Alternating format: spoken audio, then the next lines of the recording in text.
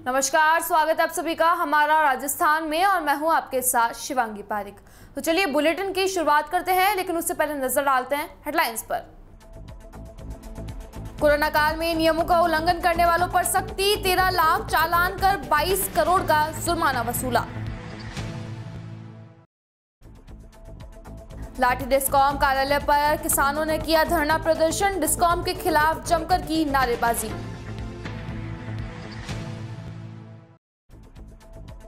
पावटा में धूमधाम से मनाई गई सुभाष चंद्र बोस की जयंती।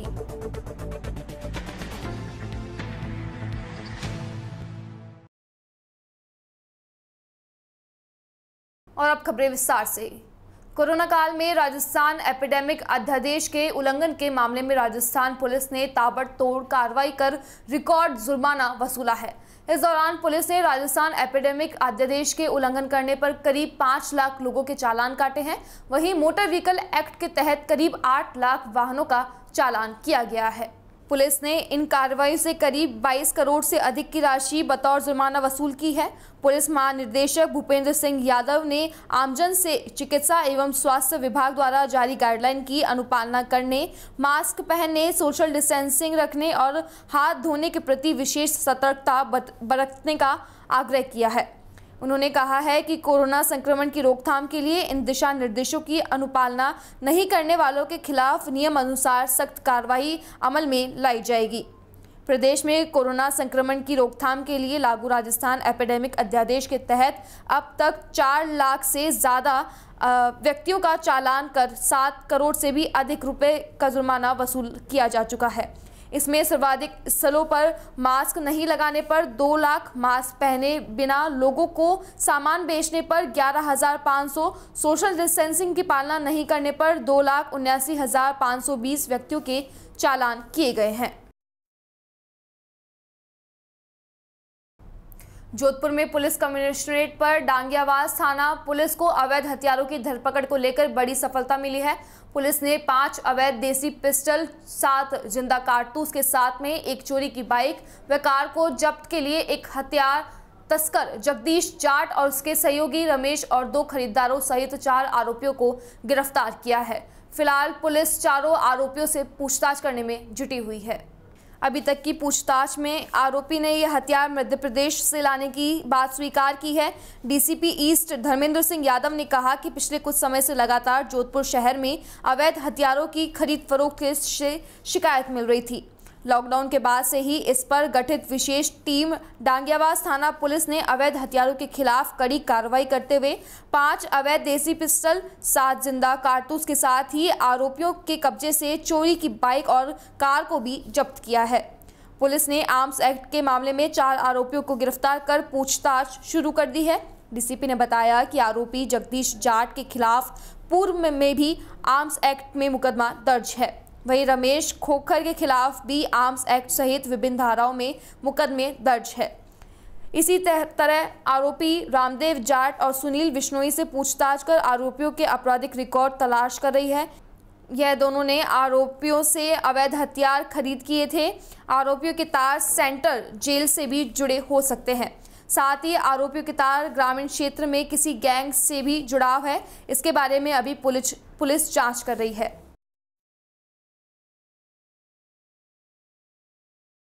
तो हमारे पास ये सूचना आने लगी थी कि फिर से जो है, हथियारों का खरीद फरोख्त जो है जोधपुर रेंज और कमिश्नरेट में वापस से चालू हुआ है।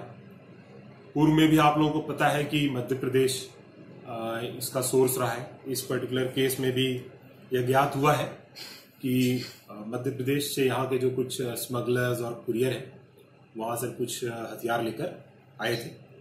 इनमें चार लोग आज गिरफ़्तार किए गए हैं डांगियावास थाने के द्वारा।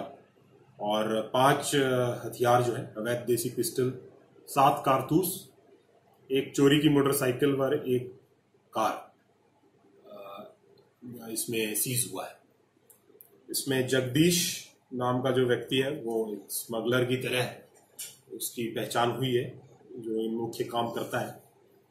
और इसने रामदेव नाम का व्यक्ति जो कि डांगियावास का रहने वाला है, इसको एज कैरियर यूज़ किया था।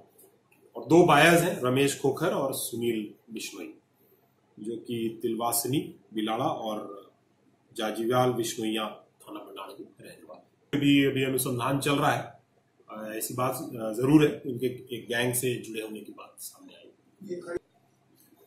खरीदारों के पूर्व में मुकदमे हैं। एक तो रमेश खोकर वांछित है बिलाड़ा थाने में एनडीपीएस के मामले में और सुनील विश्नोई के दो पुराने मुकदमे हैं, जिसमें एक तीन सौ सात और तीन बटे पच्चीस का तो एक डेफिनेटली तस्कर है और दूसरा भी बदमाश व्यक्ति है। कट्टा है, जो कि पूर्व में भी आप लोगों ने देखा है कि मध्य प्रदेश में जो पर्टिकुलर कम्युनिटी है वो जो देसी पिस्टल अपने घरों में बनाते हैं वही पिस्टल। तो बताया कि फीडबैक आने लगा था पोस्ट लॉकडाउन मूवमेंट चालू हुआ है तो वापस से जो हमारे नॉन क्रिमिनल्स हैं जो हमारे टारगेट पे रहते हैं, उनके बारे में लगातार इंटेलिजेंस गैदरिंग पुलिस कर रही थी। और इसी दौरान पुलिस को यह सूचना मिली थी कि कुछ हथियार वापस से इधर आए हैं और कोई बायर्स नहीं, नहीं खरीदा। ग्रामीण और कमिश्नरेट में कुछ गैंग जो है रेगुलर ऑपरेट कर रहा है अभी मैं किसी पर्टिकुलर गैंग का नाम नहीं लेना चाहूँगा। और अनुसंधान का विषय है लेकिन ग्रामीण और कमिश्नरेट में पर्टिकुलर गैंग्स जो है रेगुलरली ऑपरेट कर रहे हैं जिसमें कुछ मेंबर कमिश्नरेट क्षेत्र के हैं कुछ ग्रामीण क्षेत्र के हैं कुछ बीकानेर के भी होते हैं जो आपस में गैंग बनाकर बदमाशी करने के फिराक में रहते हैं। कहीं ना कहीं ये लोग उससे आपस में लिंक्ड है। इसका क्या लिंकेज है वो और आगे चल के हम लोग खुलासा करेंगे। अभी ये कार्रवाई यही नहीं रुकेगी। अभी और भी हमें क्लूज जो मिले हैं उस पर हम लोग आगे कार्रवाई करेंगे। पहले किसी एक व्यक्ति को अरेस्ट किया गया फिर उसने सूचना दिया कि मैंने उससे मंगवाया उससे कैरियर यूज़ किया उसे बेचा है उसे कड़ी से कड़ी जोड़कर वन बाय वन अरेस्ट किया। सर मैं आपको लगातार बता रहा हूँ कि कुछ गैंग से इनका संबंध है। जिसका खुलासा आगे हम लोग करेंगे। अभी हमारे पास कुछ नॉलेज है बट उसको ऑब्वियसली और डेवलप करेंगे। जेल से भी इनका संपर्क है जेल में कुछ जैसा कि इन सबका प्रीवियस क्रिमिनल रिकॉर्ड है और तो ऑब्वियसली इनका जेल में भी आपस में संपर्क पूर्व में रहा ही। लगाना तो मुश्किल है बट अभी इस वर्ष शायद सत्तर से ऊपर हथियार जो है पुलिस कमिश्नरेट ने पकड़ा है। जो कि पिछले वर्ष से कहीं डबल ट्रिपल होगा। और जोधपुर ग्रामीण में भी मुझे जो सूचना है वहाँ भी काफ़ी हथियार पकड़े गए है। काफ़ी हथियार है अभी अभी हम लोग शायद सरफेस पे ही हैं और डीप जाने की ज़रूरत है। इतना ही कह सकता हूँ संख्या का तो अनुमान लगाना अभी मुश्किल हो बड़े व्यापारियों की ही पूर्व में भी हुई है जैसा कि आप लोगों ने देखा है प्रतापगढ़ के भी कुछ सप्लायर्स पकड़े गए थे। कुछ जोधपुर ग्रामीण के भी हैं, हर तरह के हैं तो सप्लायर लेवल के हैं। जैसा आप लोगों को पता है कि मध्य प्रदेश से भी एक व्यक्ति को हमने लास्ट ईयर पकड़ा था, अठारह पिस्टल के साथ। तो हो रहा है कार्रवाई? ऐसा नहीं है कि सिर्फ़ हम लोग जो खरीद रहा है उसे पकड़ रहे हैं। सप्लायर को भी पकड़ रहे हैं और आगे भी कुछ हमारे रेडार पे हैं इसी केस में। उनको भी जोधपुर के ओसिया में राज्य सरकार की किसान विरोधी नीतियों को लेकर आगामी 23 अगस्त को ओसिया क्षेत्र में संपूर्ण लॉकडाउन की रणनीति को लेकर पूर्व विधायक भैराराम सियोल क्षेत्र में डोर टू डोर जनसंपर्क कर रहे हैं। इसी के तहत उनका मिथानिया क्षेत्र में जनसंवाद कार्यक्रम हुआ, जिस पर मथानिया पुलिस ने उनके खिलाफ कोरोना गाइडलाइन की पालना नहीं करने पर मुकदमा दर्ज किया है। पुलिस ने इस कार्रवाई को लेकर भाजपा कार्यकर्ताओं में भारी रोष व्यक्त है।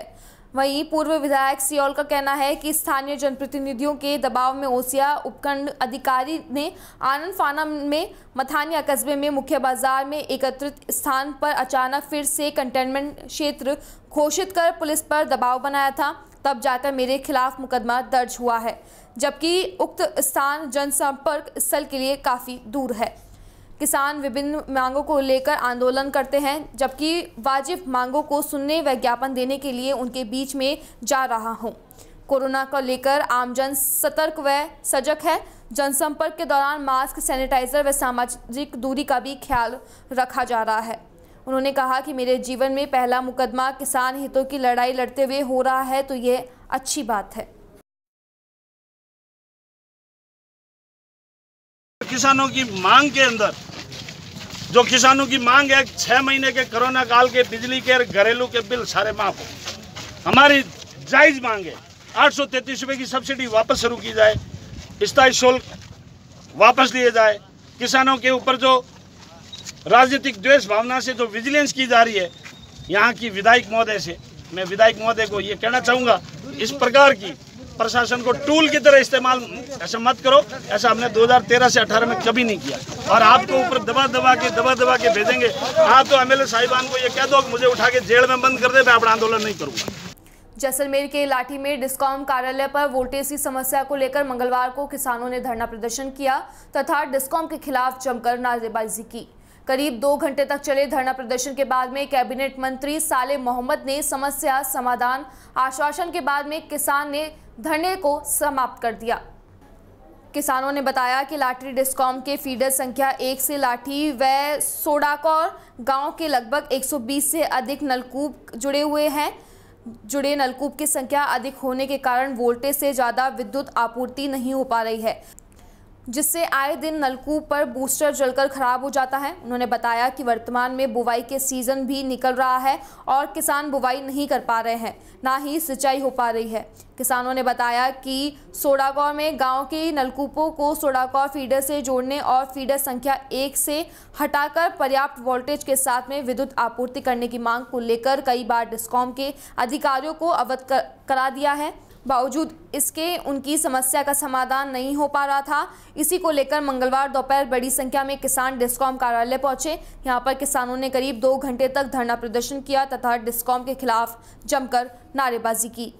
कैबिनेट मंत्री के आश्वासन के बाद में किसान मान गए। वहीं किसानों ने धरना प्रदर्शन की जानकारी मिलने पर जैसलमेर के पोखरण की तरफ़ से अपने दौरे पर जा रहे कैबिनेट मंत्री साले मोहम्मद किसानों की समस्या सुनने डिस्कॉम कार्यालय के आगे रुके तथा साथ ही किसानों की समस्या के बारे में जानकारी भी ली, जिस पर किसानों ने मंत्री को अपनी समस्याओं से अवगत करवाया, जिस पर मंत्री ने मौके पर ही फ़ोन द्वारा डिस्कॉम के उच्च अधिकारियों से बातचीत कर किसानों की समस्याओं के बारे में उन्हें अवगत करवाया तथा जल्द ही समस्या का समाधान करने के दिशा निर्देश भी दिए।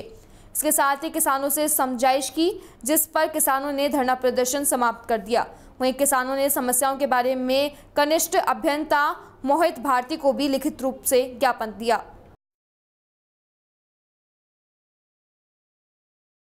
हमारी समस्या ये है कि हमारे लाठी महीना फीडर नंबर एक हो एक में ट्यूबवेल है ज़िक्र महीना एक सौ बीस ट्यूबवेल तकरीबन जुड़ा है पूर महीना सत्तर ट्यूबवेल सोडों को रहा है पचास ट्यूबवेल लाठी रहा है और सोडों को ट्यूबवेल मतलब ऊर कारण हमारा वोल्टेज माना सही मिले को नहीं हमारा मोटर बढ़ जाओ कदे स्टार्टर बढ़ जाओ और हमारी समस्या है कि होडों कोर ना होडों कोर में जोड़ो और लाठी ना लाठी में जोड़ो ठीक है होडों कोर अलग हो जाओ तो हमारे मतलब वोल्टेज माना मिल जाओ हमारी समस्या हल हो जैसलमेर की सीमा पर बीएसएफ के लिए परेशानी का कारण बनने वाली शिफ्टिंग सैंड ड्यून्स अब ग्रामीणों के लिए मुसीबत खड़ी कर रही है। शिफ्टिंग सैंड ड्यून्स के कारण तारबंदी पूरी तरीके से रेत में ढक जाती है, जिसके बाद सीमा पार करना आसान हो जाता है। वहीं जैसलमेर के सीमावर्ती करडा और पोछिणा सहित करीब आधा दर्जन गाँवों की बकरियाँ रेत पर चढ़कर सीमा पार कर चुकी है। गौरतलब है कि सीमा सुरक्षा बल के जवान यहाँ तारबंदी को लेकर सजग है। वहीं शिफ्टिंग सैंड न्यूज़ उनकी परेशानी की ओर बढ़ा रहा है। हालाँकि इस जिस जगह ऐसी स्थिति है, उस जगह बीएसएफ के जवान ज़्यादा सतर्क है। लेकिन करीब 10 दिन पहले गाँव को चढ़ने के लिए निकली बकरियाँ तारबंदी पार कर पाकिस्तान चली गई। बता दें कि जैसलमेर में चलने वाली तेज आंधियों के कारण रेड से दोनों और आंधियों के साथ अपनी जगह बदलते रहते हैं। सीमावर्ती गाँव में यह आम बात है। आंधियों की वजह से भी कभी रेत तारबंदी को पूरी तरीके से ढक लेती है तो कई बार तारबंदी के नीचे की रेत भी आंधियों से उड़ जाती है।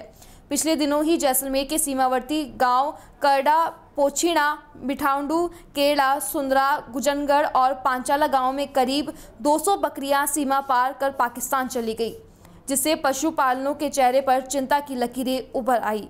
ग्रामीणों के मुताबिक पोछिना गाँव के लाल सिंह की 80, चतुर सिंह की 40, हुकुम सिंह की 20, भूम सिंह की 10 व सुजान सिंह की 40 बकरियाँ रेत पर चढ़कर सरहद पार पहुँच गई है। गौरतलब है कि इन जैसलमेर ज़िले में इन सीमावर्ती गाँवों में आजीविका का एकमात्र साधन पशुपालन ही है। ऐसे में बकरियों के सरहद पार जाने से अब उनके परिवारों का भरण पोषण करने के लिए परेशानी का कारण बन गया है। ग्रामीण पशुपालकों ने सरकार से मुआवजा देकर गरीब परिवारों की मदद की मांग की है। जैसलमेर ज़िले से 120 किलोमीटर दूर करड़ा पोचिना ग्राम वासियों की सैकड़ों की तादाद में बकरियाँ बॉर्डर पार हो चुकी हैं। लेकिन अभी तक उनको वापस दिलाने का कोई दस दिन हो चुके हैं, कोई समस्या का समाधान नहीं हुआ है। जिला कलेक्टर और कैबिनेट मंत्री को ज्ञापन दिया जा चुका है। उनसे अनुरोध है कि डीआईजी जैसलमेर बाड़मेर से संपर्क करके बकरियाँ वापस दिलाने का कष्ट करें और जो शेड्यूल्स तार दबी हुई है बॉर्डर के तो उस तार की रेत को हटाया जाए ताकि आगे से कोई पशु आगे न जाए। ग्रामीणों के जीवन यापन करने के लिए एक ही सहारा है जो पशु है। पशुओं पर ही जीवन यापन किया जाता है बाकी सूखा क्षेत्र है उनके अलावा कोई जीवन यापन करने का साधन नहीं है। तो आगे से एक अनुरोध है कि जो रेत के अंदर दबी हुई तार है उसको रेत को हटाकर तार को एक बीएसएफ के लिए अलर्ट किया जाए ताकि कोई बॉर्डर पे जो गतिविधियाँ भी होती हैं उनका भी सामने से थोड़ा रोक लगे। तो यही अनुरोध है कि बीएसएफ से जो तार दबी हुई है उसको ओपन करके ये घटना 10 और 11 अगस्त की है। और ढाई सौ बकरियाँ गई है। कारण है कि रेत के अंदर जो सुंदरा पोस्ट है बीकेटी वो दबी हुई है तार पूरी रेत के अंदर तो उसके ऊपर दस फीट एक मंजिल से ऊपर रेत आई है तो उसमें आराम से कोई रोक टोक नहीं है जा सकती है बकरियाँ। और बीएसएफ के जवानों के सामने से गई है जो शिफ्टिंग चेंज हो रही थी सुबह के मॉर्निंग टाइम छः बजे बकरियाँ निकली उनके सामने 200 की तादाद में बकरियाँ गई है। पहले भी ऐसे बिल्कुल मामूली बकरियाँ जा, आती जाती रहती हैं। हज़ारों की संख्या में गई लेकिन इतनी तादाद में एक साथ कभी नहीं गई है। दस बीस गरीब हैं उनकी जाते रहती हैं। यही जीवन यापन का साधन है। पहले कोई पहुँच नहीं पाते थे। अब की बार आवाज़ लेकर आई है ग्रामीण हमें आस है कि सरकार से कि जो गरीबों की सरकार कही जाती है तो ये सरकार मुआवजा और बकरियों दिलाने की कष्ट करेगी तो हमें आशा है। सीमा खती गेवरा ग्रामीण से आता हूँ बिजना तला से हमारे वहाँ पे कई बार बकरियाँ गई हुई है कई बार गाय गई हुई है कई बार ऊँट गए हुए। वहाँ पे क्या अभी बॉर्डर अलर्ट था। जो वहाँ पे पशुपालक है, उनको नदी जाने नहीं दिया, इस वजह से बकरियाँ पार हो गई। और कई बार भी बकरियाँ पार पार भी हुई है, लेकिन कोई आज तक वापिस नहीं आई, नहीं सुनाई होती है। और वहाँ पे जो तारबंदी थी, वो बिल्कुल के रेत से दब गई। कम से कम तीन चार किलोमीटर तक रेत से दब, दबी होने के कारण ये बकरियाँ जाती है। और वहाँ पे कम से कम बिंद्रातला और करड़ा पोछा इन गाँव की कम से कम हर साल कम से कम 200-400 बकरियाँ जाती है हर साल। आज क्या मांग रही है? क्या मांग लेके आज हमारी मांग कलेक्टर साहब को ज्ञापन दिया गया मंत्री जी को ज्ञापन दिया गया। इनसे यही मांग है कि डी आई जी बी से बाड़मेर जैसलमेर है उनसे बात करके हमारी ये बकरियाँ कैसे भी करके लौटा दी। नागौर खरनाल निवासी शिक्षावाद हरिराम धोलिया के परिजनों ने धोलिया में निधन पर मृत्यु भोज नहीं कर गाँव में सरकारी विद्यालय में सुविधाएँ विकसित करने के लिए एक लाख एक हज़ार का सामान उपलब्ध करवाया है। स्वतंत्रता दिवस पर आयोजित कार्यक्रम के दौरान धोलिया के परिजन भवरा राम नरसिंहा राम नारायण राम हरिराम, सुखराम, पेमाराम, प्रभु सुख पुत्र अनिल चौलिया ने 12 green board automatic electronic bell छोटे बच्चों के बैठने के लिए 50 दरिया प्रेक्षित कक्षा के लिए टेबल, कुर्सी कुर्सी व नोटिस बोर्ड, एक पानी की मोटर कार्यालय के लिए अलमारी, आठ छत पंखे, सरपंच शिवकरण धूलिया व्याख्याता धनराज खोजा, महावीर काला व ग्रामीणों की उपस्थिति में विद्यालय के प्रधानाचार्य भोजाराम सिंगाटिया को सौंपा है। गौरतलब है कि एक साधारण किसान परिवार से थे। उन्होंने गाँव के विद्यालय में 20 वर्षों तक संस्था प्रधान के रूप में सेवाएँ दी है। जिला बाल कल्याण समिति के सदस्य व अध्यक्ष भी रहे हैं। वहीं पावटा में मंगलवार को कस्बे के प्रमुख चौराहा सुभाष चौक पर भाजपा कार्यकर्ताओं द्वारा जंगे आज़ाद के महानायक नेताजी सुभाष चंद्र बोस की 123वीं जयंती धूमधाम और उल्लास के साथ में मनाई गई। इस अवसर पर पूर्व विधायक फूल सिंह भिंडा व भाजपा पदाधिकारियों व कार्यकर्ताओं ने नेताजी की प्रतिमा पर माल्य अर्पण कर उन्हें श्रद्धा पूर्वक याद कर नमन किया। पूर्व विधायक फूल सिंह भिंडा ने कहा कि नेताजी क्रांति से ही आज़ादी दिलाने के पक्षधर, इसलिए उन्होंने इसमें विदेशों में रहकर अपनी भूमिका का बखूबी निर्वहन किया और नौजवानों को एकत्रित कर 1943 में आज़ाद हिंद फौज का गठन किया। इसलिए उन्होंने नौजवानों में, तुम मुझे खून दो, मैं तुम्हें आज़ादी दूँगा। इस पर बुलंद किया और युद्ध युद्ध लड़कर अंग्रेज़ों को परास्त करने में अपनी भूमिका निभाई। भाजपा जिला महामंत्री कैलाश थाकर खातर ने कहा कि नेताजी एक महान पुरुष थे और आज़ादी दिलाने में उनकी अहम भूमिका भी महत्वपूर्ण थी। इसलिए भिवनबना में उनकी जयंती पर सरकार सार्वजनिक रूप से अवकाश घोषित नहीं करती। उन्होंने सरकार से मांग की है कि नेताजी की जयंती पर सामने का अवकाश घोषित किया जाए।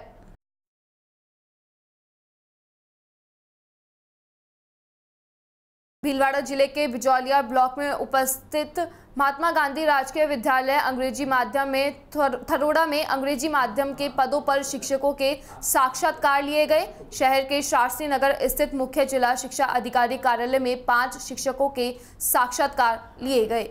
साक्षात्कार जिला शिक्षा अधिकारी, माध्यमिक ब्रह्माराम, जिला शिक्षा अधिकारी, प्रारंभिक तहसीन अली, विद्यालय प्रधान प्रधानाचार्य शंकरलाल मीणा और मुख्य जिला शिक्षा अधिकारी राधेश्याम शर्मा ने लिया। इस दौरान शिक्षकों को अंग्रेज़ी में पूछे गए सवालों का कई शिक्षकों द्वारा जवाब नहीं दिया गया। साक्षात्कार के दौरान एक शिक्षिका ने पाँच लाइन गणतंत्र दिवस पर बताने के बारे में पूछा गया, मगर उसने जवाब देते हुए नहीं बना। इस पर मुख्य जिला शिक्षा अधिकारी राधेश्याम शर्मा ने कहा कि हम यहाँ साक्षात्कार के लिए नियुक्त किया गया है। हम रिपोर्ट उच्च अधिकारियों तक पहुँचाएँगे। वहीं से इनकी नियुक्ति की जाएगी। सर महात्मा गांधी विद्यालय थड़ोदा जो हमारा नवीन रूप से स्थापित हुआ है, अंग्रेज़ी माध्यम का स्कूल, उसके लिए सेकंड ग्रेड और लेवल फ़र्स्ट लेवल सेकंड के टीचर्स का इंटरव्यू आज किया जा रहा है।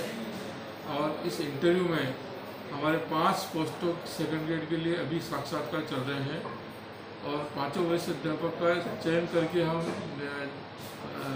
जॉइंट डायरेक्टर ऑफ़िस अजमेर भेजेंगे। वहाँ से इनके अपॉइंटमेंट जारी किए जाएँगे। जो थर्ड ग्रेड के टीचर लिए जाएँगे।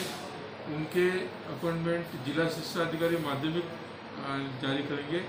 उसका जो निर्देश है, वो डायरेक्टरेट से जारी हो चुके हैं। तो उसके अनुसार ये उनका पूरा परीक्षण करके ये उनको पात्र पाए जाने पर इनको हम अपॉइंटमेंट देंगे। पाँच पति खाली है और पाँच ही आए हैं साक्षात्कार के लिए। हाँ पाँच ही आए हैं। और तो पाँचों में कोई पात्र नहीं होता तो इसका ये क्या रहेगा?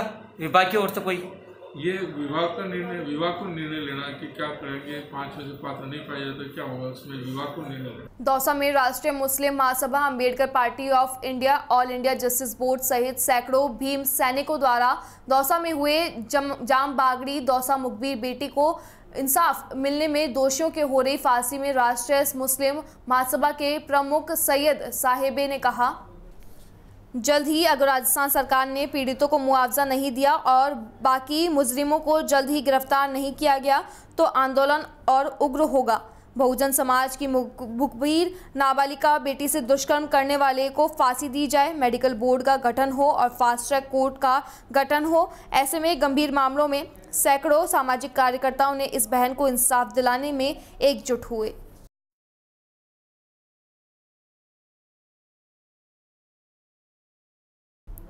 भीलवाड़ा में बढ़ते कोरोना संक्रमण के चलते अब चिकित्सा विभाग ने कोविड 19 का दायरा बढ़ाना शुरू कर दिया है।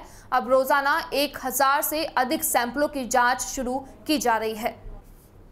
वहीं शहर में आज भी 41 मरीज़, संक्रमित मरीजों की ओर से आने के बाद में जिला का आंकड़ा एक हज़ार पाँच सौ तिरपन हो गया है। बढ़ते मरीजों के कारण अब जिला प्रशासन ने भी आइसोलेशन वार्ड में बेड की संख्या बढ़ाने को लेकर तैयारियाँ शुरू कर दी है।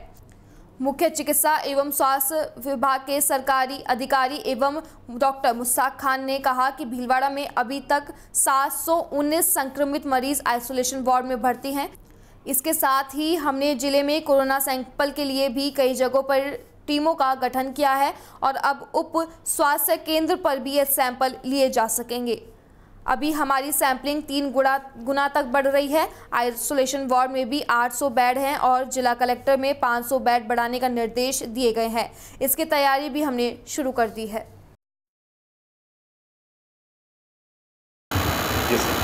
आज 41 केसेस निकले हैं और इसके साथ ही भीलवाड़ा में पॉजिटिव केस जो है, पंद्रह सौ तिरपन हो गए हैं।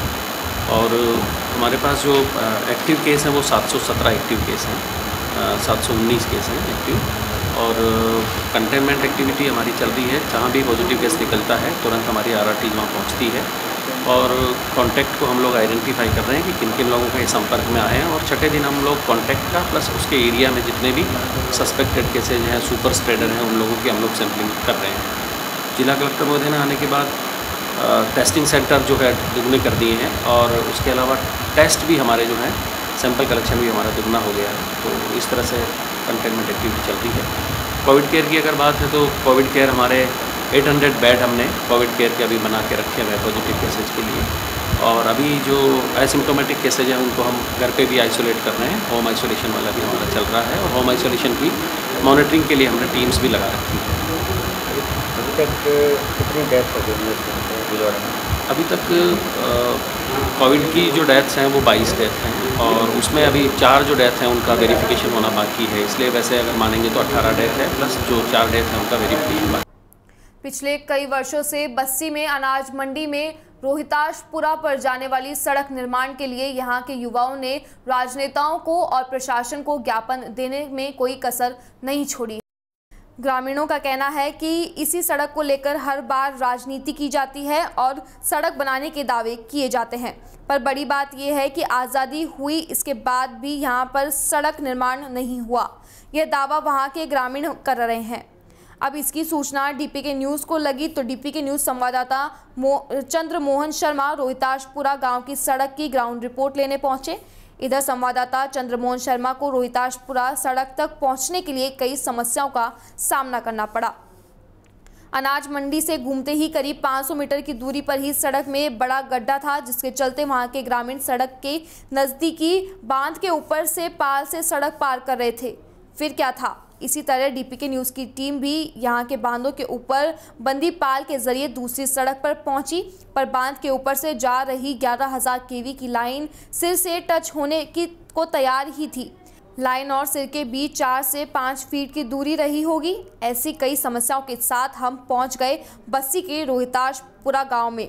फिर हमने जानना चाहा कि वहाँ की ग्राउंड रिपोर्ट कुछ देर में वहाँ के हालात देखने के बाद में हमने सोचा कि डीपी के न्यूज़ के दर्शकों को भी एक बार रोहिताशपुरा गाँव की सड़क का नज़ारा दिखाएँ।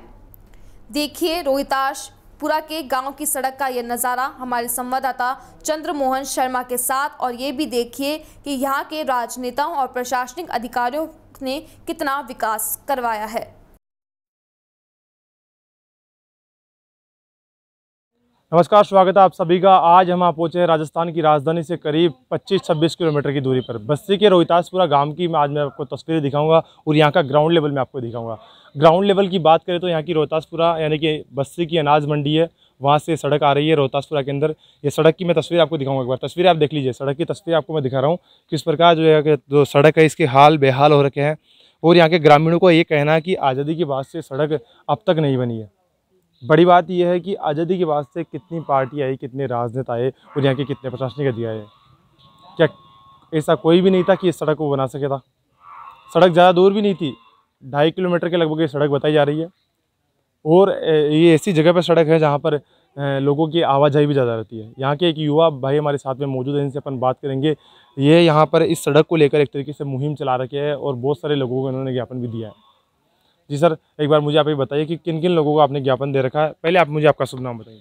मेरा नाम राजकुमार शर्मा है। हम्म। मैं इस सड़क के लिए 2014 से लगातार प्रयास कर रहा हूँ। हम्म। और 2016 से मेरे प्रयास काफ़ी तेज़ हो गई थी। हम्म। और अब इस सड़क के निर्माण के लिए मैंने जो प्रयास किया था उसका मेरे को कोई नतीजा नज़र नहीं आते हुए मैंने मीडिया के द्वारा आपको निवेदन किया था सर। सर मैं बात करूँ आपने किस किस को ज्ञापन दे रखा? सर मैंने बस्सी एसडीएम से लेकर प्रधानमंत्री नरेंद्र मोदी तक को ज्ञापन दे रखा है। बीच में कौन कौन से सर बीच में जिस जिससे आप जिला कलेक्टर हुआ संभाई आयुक्त हुआ जेडीसी जो जोन तेरह में हमारी सड़क आती है जेडीए में जेडीसी हुआ जेडीए सचिव हुआ श्रीमती वसुंधरा राज्य सीएम साहब को भी दिया था पूर्व जो सीएम थी सर, वो तो पिछली सरकार गई उसमें क्या हुआ नहीं? अभी वर्तमान में पिछले अपनी सरकार आए हुए लगभग दो साल ज़्यादा हुए।